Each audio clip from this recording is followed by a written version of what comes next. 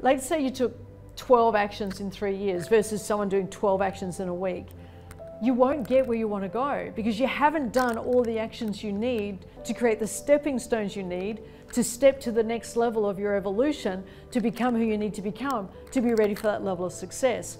A million dollar income in a year is not the mindset of zero income.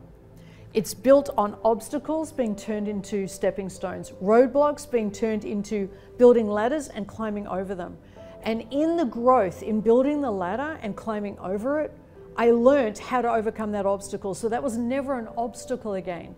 Now it's just, oh, I, don't, I don't even notice it. I, the things I used to worry about, I don't even notice now.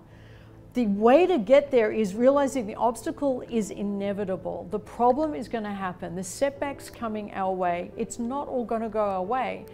And if we use the obstacles as a reason not to, we're not going to get to our goal. We're going to keep pushing the goal as far off down the road as we keep pushing off facing this obstacle.